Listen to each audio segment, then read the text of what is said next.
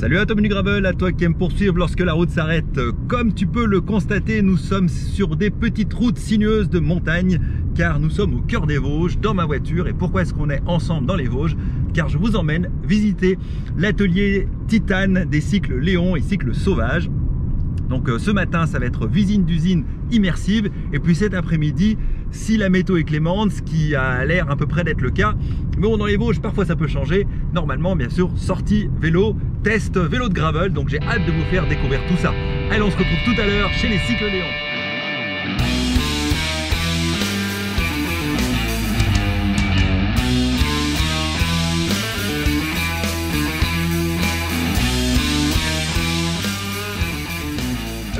il reste plus qu'à rentrer dans l'usine et vous faire découvrir à la fois les vélos, la fabrication, le montage, tout le matériel. Euh, Ça va être un vrai moment de plaisir.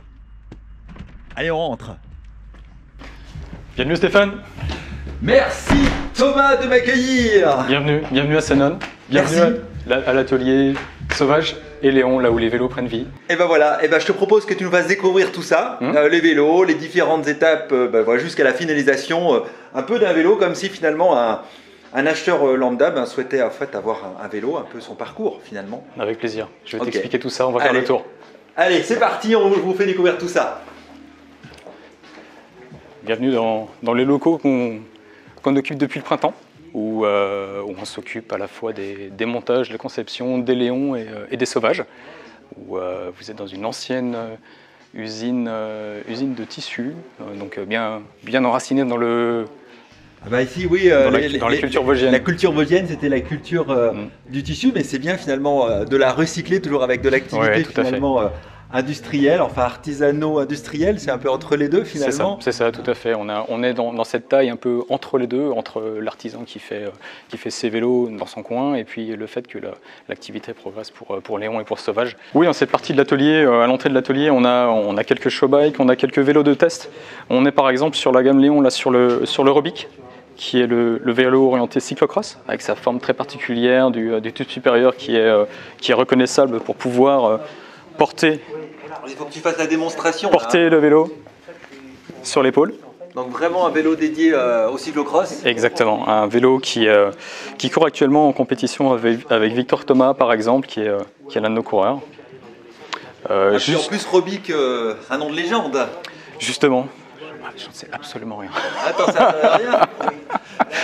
si, si, euh, non, il en sait absolument rien, mais Robic, je peux vous dire que c'était vraiment un coureur de légende pour ceux qui aiment la route. En tout cas, là, un très très beau euh, vélo. Alors peut-être, tiens, juste quand même ce vélo, on on fera quelques plans, mais Oui. je vois qu'il a en plus un pédalier qu'on voit pas très souvent, euh, la marque Ingrid, Oui. que j'ai découvert honnêtement il n'y a pas très très longtemps, qui est une marque européenne, espagnole. c'est une marque qui fait presque encore de l'artisanat euh, espagnol, euh, une marque plutôt haut de gamme, euh, qui fait des très beaux matériaux avec, avec de- des couleurs d'anodisation un peu particulières.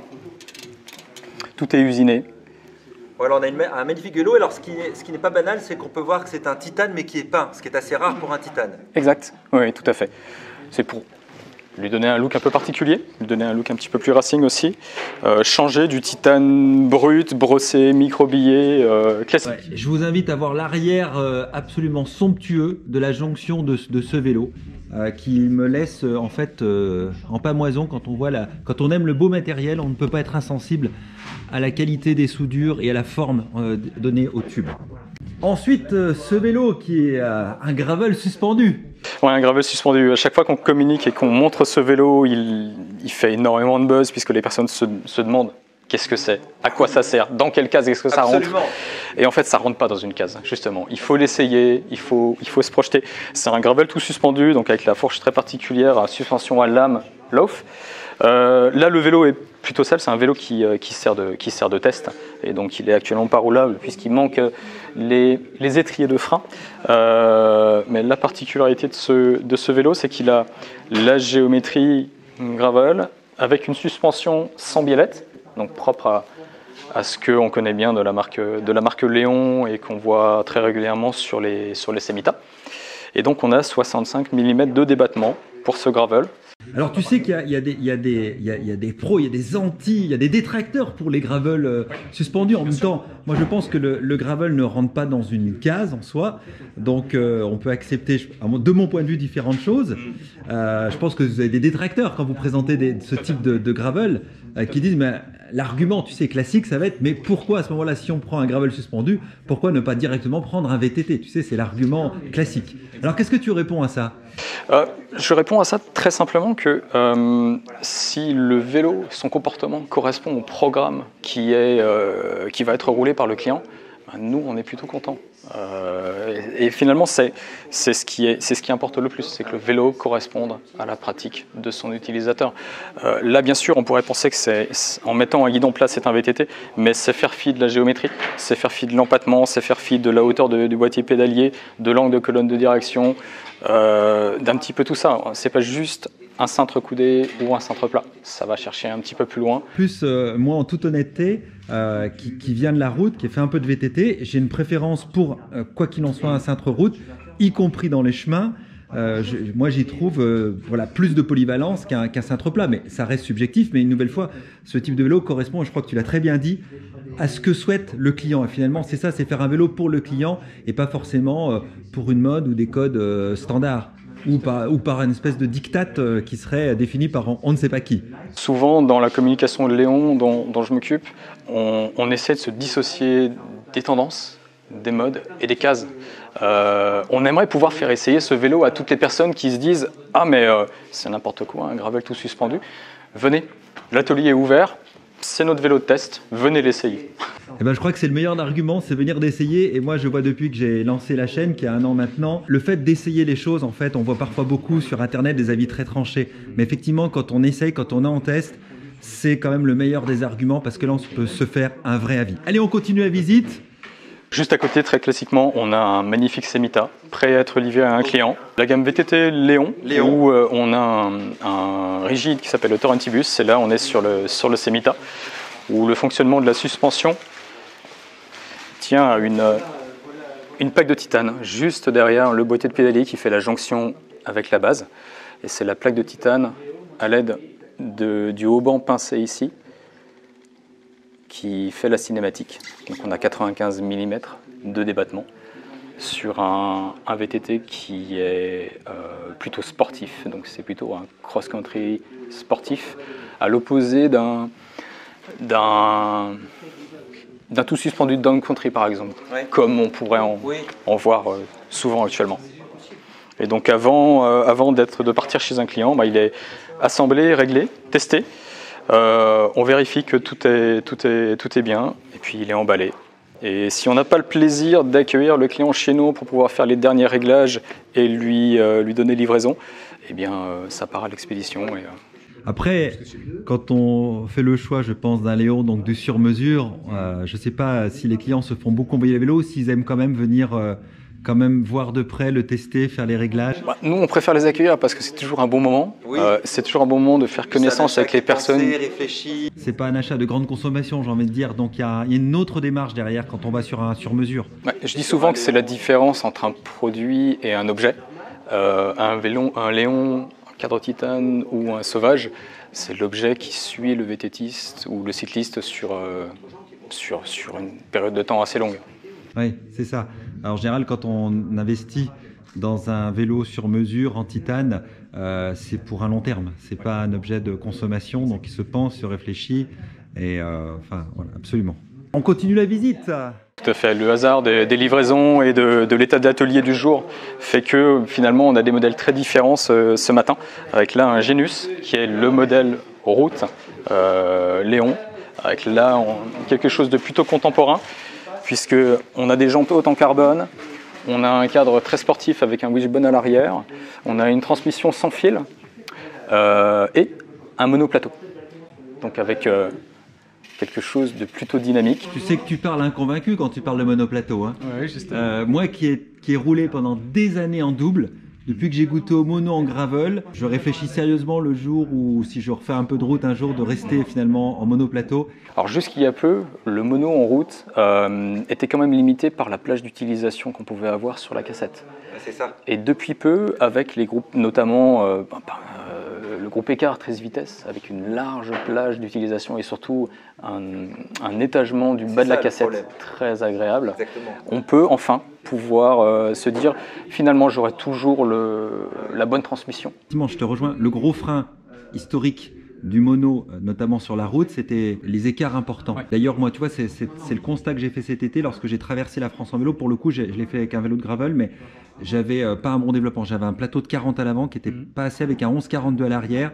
Et il y a quand même beaucoup de moments où, j'étais entre deux, tu vois. Et pourtant, je suis fan du mono. Donc, à refaire, si je reste en mono et si je refais des grandes traversées, il faudrait que je réfléchisse mieux au développement si je reste en mono. Donc, avoir un 12 ou, 13 pignons à l'arrière, justement pour euh, pas avoir ces sauts de dents de de 3 4 dents, des fois qui est, trop important. Pour pouvoir maintenir la fréquence. Deux cas de figure dans lesquels, par exemple chez Sauvage, je déconseille le, mono, c'est euh, si la personne, euh, si le client me dit qu'il est dans une configuration bikepacking chargée, c'est vrai qu'en fin de journée, lorsqu'on a 8 heures, 10 heures de selle, d'effort, il y a toujours cette dernière euh, ascension pour monter à l'endroit où on s'installe pour la nuit. Et comme le vélo est lourd, on est déjà bien fatigué, si on est en mono et qu'on n'a pas le développement qui permet de mouliner, c'est compliqué. L'autre cas de figure dans lequel je trouve que le mono euh, ne, ne, se porte pas idéalement, c'est lorsqu'on roule, lorsqu'on fait des sorties club en peloton. À partir de 3, 4, 5, 6 personnes, euh, là il faut maintenir une vitesse, il faut maintenir une cadence. Il faut toujours avoir le bon développement justement. Et là les sauts sur une cassette mono peuvent être un petit peu importants. Et c'est les deux cas de figure dans lesquels je, je déconseillerais le, le mono et plutôt favoriser le double mais c'est quand même des niches. Allez, on continue la visite avec un vélo euh, vraiment étonnant, atypique, un tandem titane. Je, sais pas, je tenais à se présenter parce qu'il est vraiment. Euh, alors, il est en cours de montage, mais. Oui, c'est une des fiertés de Léon, en fait. C'est une des fiertés, puisqu'on est euh, un des rares à pouvoir encore faire des tandems sur mesure, que ce soit sur la route, pour du gravel ou des tandems VTT. Ceux qui vont au rock chaque année voient les vélos, les, tandems Léon euh, lors du rock tandem, où euh, plusieurs de nos clients participent avec, euh, avec, ces cadres-là. Et c'est toujours un challenge pour nous de faire un tandem sur mesure, puisque ça, demande beaucoup plus de connaissances et de, travail, et notamment de travail au niveau de la, conception du cadre. La particularité, bien sûr, il y a plus de matière, il y a plus de, de travail de mise en œuvre. Et la particularité pour nous, et ce qui, ce qui, ce qui, ce qui nous, nous, porte un peu sur les délais qui sont supérieurs sur ces produits-là, c'est la disponibilité de certains tubes qui sont dans des dimensions particulières et en dehors de, des tubes classiques qui sont utilisés sur. Euh, bah, j'imagine, si on prend le, ce tube, la longueur de ce tube-là, en plus la forme très particulière, évasée, euh, c'est euh, très, très, très, très atypique. Vous qui êtes amateur de, de beaux matériels, vous invite à regarder euh, la forme des tubes. Alors je sais pas si ça rend beaucoup à l'écran, mais voilà, là on a vraiment, on peut voir la, différence de largeur. Hein, ce tube qui s'élargit euh, au niveau du, du six tubes. Euh, c'est vraiment pour les amateurs de, de, beaux matériaux. Alors certains vont me critiquer en disant que je fais encore trop de marketing, mais euh, c'est quand même la réalité. Et quand on est face à des belles choses, c'est quand même difficilement critiquable. Alors, continuons cette visite maintenant. Stéphane, aujourd'hui, tu as plutôt de la chance parce que c'est quelque chose de rare chez Sauvage et Léon. On a quelques cadres en stock. Puisque tu sais que euh, les cadres sauvages sont fabriqués sur commande. D'accord. On a un délai qui est. Bon, je vais pas donner le délai là, puisque ça a une vidéo qui va rester, donc le délai d'aujourd'hui n'est pas forcément celui dans quelques mois. C'est particulier, puisqu'en fait, on, on, est toujours entre deux livraisons. Et euh, dans notre manufacture en Chine continentale, où nos ouvriers euh, façonnent les cadres de chaque, de chaque. Justement, parce que je sais que la question va arriver dans le commentaire. Donc, où sont-ils fabriqués? Les cadres sont fabriqués en Chine. Euh, dans notre usine, on est propriétaire des locaux, des outils de production surtout des outils de production, parce qu'il y a beaucoup de savoir-faire pour pouvoir former les tubes et ce genre de choses. Ce sont nos cadreurs qui travaillent à plein temps pour pouvoir euh, bah, fabriquer vos sauvages et fabriquer les léons. Ce qui fait que Sauvage est la déclinaison accessible des cadres, des cadres léons. Lorsque vous achetez un sauvage, vous avez un cadre qui est fabriqué par les mêmes personnes, avec les mêmes tubes et au même endroit qu'un cadre Léon. Donc votre sauvage aura des soudures et une géométrie aussi raffinée que le Léon. La différence entre les deux étant que le cadre sauvage a une géométrie fixe et le cadre Léon est complètement sur mesure. Donc la démarche d'achat n'est pas la même. Mais là, la particularité, c'est qu'il y en a aujourd'hui à l'atelier. Donc là, sur la droite, avec les, euh, les, commandes, euh, c'est des, des, vélos clients. qui sont encore emballés. On ne les a pas encore checkés. Ils ont déjà la décoration qu'on voit, décoration qui est, on regardera un petit peu plus dans le détail tout à l'heure. Et, de ce côté-là, on a quelques rares cadres en stock qui généralement ne restent que quelques jours chez nous. Bah, je te propose Thomas que tu nous fasses un petit focus sur euh, ce cadre euh, sauvage, mhm. euh, les particularités justement, comment il est composé, le type de tube, voilà, qu'on regarde ça un peu de près. la particularité c'est qu'on est sur un cadre la piste qui n'a pas l'intégralité de sa, décoration, donc on le voit sur le côté. Et la Donc on est sur un cadre gravel Un cadre gravel, tout à fait. La piste, notre, notre modèle phare qui accueille des, une montre pneumatique jusqu'à 45 mm de ballon, qui est quand même déjà généreux sur, 47 c'est déjà généreux et c'est le, je trouve que c'est le bon standard actuellement. Moi 45 euh, jusqu'à 47 c'est. Ça permet d'avoir une montre pneumatique qui est à l'aise sur bitume, euh, sans être aussi efficace qu'un route, et qui a des capacités tout terrain qui sont euh, qui, qui, repoussent les limites quand même du gravel. là par exemple, qu'est-ce qu'on voit? On voit un, cadre avec une de deux directions qui est conique, avec, on le voit pas, c'est encore protégé, mais avec un axe traversant donc compatible avec les derniers standards. On est resté sur un boîtier de PDL BSA avec des roulements externes, gage de fiabilité et aussi euh, le cas échéant lorsque on veut euh, et on doit euh, à un moment donné lorsque le boîtier de PDL est usé le changer on ne sera pas sur une pièce qui sera exagérément onéreuse. Et on est sur des boîtiers filetés. J'apprécie que je trouve qu'on revient au boîtier fileté globalement beaucoup de marques le font en ce moment après des années de press fit. Et euh, moi, je préfère personnellement. On revient, on revient à des, choses plus, plus fiables, euh, pas de grincement. Voilà. Très clairement, de la fiabilité. Et donc dans l'épaisseur des tubes là On est aussi sur des tubes de qualité US, euh, de qualité US qui sont double butette. Qu'est-ce que ça veut dire double butette Ce terme un peu barbare à l'anglaise, bah, c'est tout simplement qu'il y a une épaisseur qui est variable entre le bout du tube et le centre. Par exemple, sur ces, ces cadres d'origine US Timet qu'on utilise, qui sont les mêmes sur Sauvage. Quand tu dis US, donc les, les, tubes, sont, eux, sont américains Tout à fait, sont, sont d'origine euh, États-Unis. Euh, et donc on est sur une épaisseur en bout du tube de 0,9 et au centre du tube de 0,7. Ça fait la différence et ça fait tout le comportement sur un cadre de titane. Il y a les cadres de titane qui sont qu'on appelle monojauge et qui sont d'épaisseur constante. Alors bien sûr, on a un cadre de titane, mais on n'aura pas ce comportement qu'on appelle le comportement magique d'un cadre titane qui filtre les hautes fréquences et qui apporte ce petit supplément. C'est un cadre vivant. Juste derrière les cadres, on a bah, quelque chose qui est assez évident. On a le stock de roues. Euh, historiquement, on travaillait avec Shimano, avec, euh, avec lesquels on a eu quelques soucis de, supply chain euh, début d'année derrière. Et donc, on a cherché des solutions un petit peu plus qualitatives et un petit peu plus françaises aussi. Et donc, on travaille depuis avec le moteur de roue Duke. Donc JP Racing JP Racing, exactement. Donc euh, roue artisanale française qui nous, euh, qui nous conçoit les roues spéciales pour sauvage. Euh, donc spécialement avec des moyeux ici, une roue très particulière orientée bikepacking par exemple. Voilà, parce que là on a un moyeu dynamo. Un moyeu dynamo avec, construit avec des rayons sapim, avec le, la jante qui est faite par Duke. Et donc, c'est des roues qui sont montées de manière artisanale à la main. Ça fait vraiment la différence sur le comportement du vélo.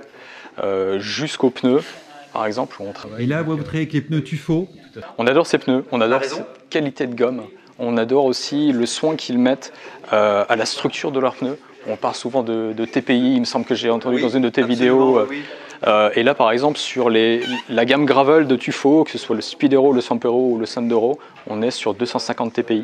Donc une trame qui ah oui, donc 250 TPI, là, on, ne joue pas dans la même division, ça change tout quand on voit par rapport à un pneu qui va être à, 60 par exemple. Euh, en termes de, qualité, de roulement, euh, de performance, de rendement, euh, c'est le jour et la nuit. Quoi. Ça fait partie des, des équipements qu'on installe sur les sauvages par conviction, vraiment. On pourrait avoir des choix économiques et ne pas monter ce type de matériel, mais, euh, mais, on le fait vraiment par conviction parce qu'on sait que ça change l'expérience lorsque euh, ben, nos clients font leur premier tour de roue. Oui, parce que beaucoup de marques, euh, y compris des grandes marques prestigieuses, font souvent le choix, souvent ce qui pêche mm. dans les vélos du commerce standard, c'est tu peux avoir un très beau cadre, bien équipé, mais souvent, sauf quand tu tapes dans le, dans le, dans le haut de gamme, souvent les, les, les, roues, les, roues, les roues sont quand même des fois vraiment pas terribles et les pneus non plus. Hein. C'est vraiment le, le, poste sur lequel. C'est-à-dire que c'est descendu. Quoi. Je suis pas là pour parler des concurrents. mais ce que je trouve dommage, c'est que lorsqu'on reçoit son vélo ou lorsqu'on va chercher son vélo en ayant bah, investi quand même un budget conséquent, euh, que ce soit un vélo milieu de gamme, haut de gamme, très haut de gamme ou bas de gamme, c'est quand même un budget qui est conséquent. Lorsqu'on le prend, lorsqu'on le sort, et on se dit, je trouve mesquin qu'il puisse y avoir des, bah, du matériel générique ou, des pièces où on se dit, zut, j'ai payé telle somme et ah, il y a encore ça qui est monté sur le vélo. Euh, bah, Sauvage, c'est une marque qui, a été, qui est, conçue par des cyclistes pour des cyclistes, Et, on sait que ben, les personnes qui vont les rouler, on va les recroiser. Et donc euh, on, a à cœur de faire en sorte que sur un sauvage, il n'y ait pas de matériel générique. Alors quelques mots sur ce vélo modèle euh, route, bah, qui porte bien son nom. Parce que... La route. La route. Il ne laisse pas, il laisse pas d'équivoque sur, sur son utilisation. Bah, là, on est sur un, sur un cas vraiment classique chez Sauvage où euh, on, est sur notre modèle euh, route sportif, donc euh, qui accueille des pneus jusqu'à 28 mm. Et là, la particularité, c'est que vous avez un vélo qui n'est pas complètement terminé, où c'est l'histoire de Sauvage en fait, c'est l'histoire de, nos semaines. le, cadre, le cadre ici, le montage est terminé, les réglages sont faits, et on est en attente de, des toutes dernières pièces pour pouvoir livrer notre client. Donc tout est prêt, et on attend Shimano qui devrait nous livrer les étriers, pour qu'on puisse terminer le montage. Malheureusement, c'est aussi un peu la période actuelle et la pénurie de, matières premières euh, et de matos euh, qui, touche beaucoup le monde, le monde cycliste. Ça fait partie de notre quotidien. Et si on regarde, tiens, on n'a pas encore parlé euh, de prix, si on regarde ce vélo, donc dans sa configuration, donc cadre titane, des roues Duke artisanales, on l'a dit, un pédalier Praxis carbone, un groupe full Ultegra, des périphériques Ritchey. Oui, périphériques Ritchey Comp avec des pneus Pirelli, des roues artisanales Duke. On est sur 3100 euros TTC. Qui, euh, au regard de la qualité des équipements, euh, qui ne sont pas des équipements standards, euh, je sais que certains vont encore dire oui, mais c'est de la flagornerie, mais non, c'est juste quand même le réel. Regardez si vous aimez beau matos, pour 3000 euros, ce que vous avoir, honnêtement, parfois la concurrence, en prenant vraiment les éléments un par un, et ça va être difficile de faire aussi bien. On livrera de la guidoline quand même avec le vélo. D'accord, la guidoline, parfait. Et puis une partie là, on voit que au mur, il y a plein de choses. Et alors tous ces vélos, tous ces cadres, pardon, sont, je crois, les prototypes. Ça fait partie de l'histoire de, la marque Léon puisque en, fait Léon, euh, lorsque, lorsque David Robert a, créé la marque, il avait à cœur de pouvoir redynamiser le, statut, le statut du titane euh, sur quelque chose d'à la fois efficace euh, et dynamique, non plus comme avec un titane, comme, tout le monde euh, l'a dans, ses souvenirs, avec quelque chose d'un peu inerte et, trop souple. Et la condition, c'était pour lui de pouvoir faire valider dans les laboratoires en termes de, résistance et de, dynamique. et donc c'est ce que vous voyez au mur, c'est-à-dire les, différents stades de développement de chaque vélo qui ont été validés en résistance et en cycle. Un, point sur lequel euh, on est interrogé euh, régulièrement, c'est sur, euh, l'aspect finance, l'aspect lorsqu'on commande un vélo chez Léon et chez Sauvage, le paiement se fait à la commande. Pourquoi? Ben, Si tu regardes juste de ce côté-là, on comprend pourquoi. Parce que ben, on est une PME, on est en financement propre, on se targue de ne pas avoir de, prêt bancaire sur le dos. Euh, par contre, pour pouvoir assurer des livraisons et, des délais euh, les plus courts possibles, il faut qu'on anticipe tout ce qui est euh, stock de, pièces.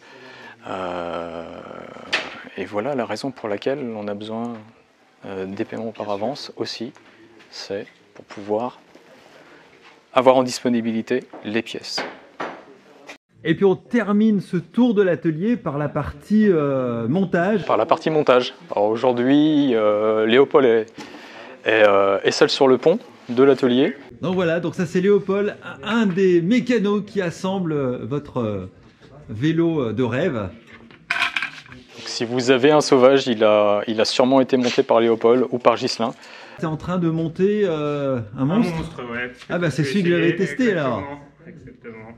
Et en plus, pour la petite anecdote, euh, celui que j'ai en test sur la chaîne, c'était le mien. C'était le sien, donc merci de me l'avoir prêté. Avec plaisir. Voilà, c'était un vrai bonheur de rouler avec ce, avec, avec ce vélo, comme vous l'avez compris. Pour ceux qui ont vu la vidéo, je vous remets le lien au-dessus.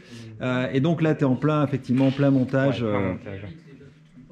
là, si tu veux, on assemble premièrement, et puis après va venir la, période des réglages et, de la mise en forme finale. Voilà les amis, on a fait le tour de l'atelier, mais peut-être un dernier point une fois que le vélo est monté. Il est roulé. Il est roulé. Il est roulé, c'est-à-dire que chaque, chaque sauvage, chaque lion qui est, euh, qui est assemblé par Léopold ou par, ou par Ghislain est roulé avant d'être euh, d'être emballé. Ou, le client vient directement le, chercher, ce qui est souvent le cas quand Ce qu'on préfère, mais c'est pas toujours possible. C'est pas toujours possible avec les contraintes professionnelles de chacun. Et donc, euh, on vous accueille avec plaisir. Ou alors, simplement, ben, on prend soin de votre vélo, on l'emballe et on vous l'envoie.